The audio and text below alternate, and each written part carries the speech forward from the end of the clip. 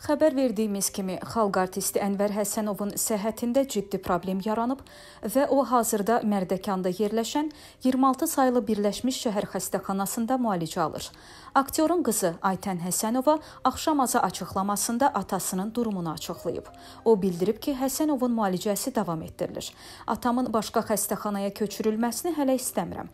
Koronavirusa yoluxub. Burada müalicəsi davam etməlidir. Digər tərəfdən isə COVID-19 xəstəsi olduğu üçün heç bir özəl klinika qəbul etmir. Hazırda vəziyyəti orta ağır olaraq qiymətləndirilir.